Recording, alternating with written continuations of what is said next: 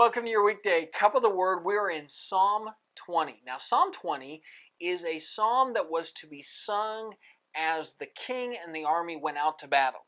The idea is, is we, we know there are hard things ahead. We know there is a, a, a trial ahead of us. Bring us safely through it.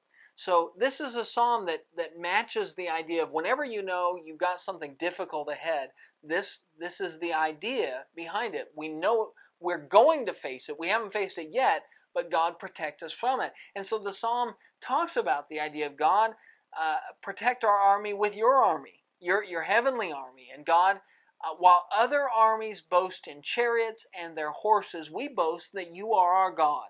And so, God, we go out to battle knowing that you are with us. Doesn't matter how large the other army is, doesn't matter how strong they are, we place our trust in you, and as we leave for battle, that is our banner of courage. It is a powerful psalm of stepping out in faith, knowing God will protect his people. That's your daily cup, and we'll see you tomorrow.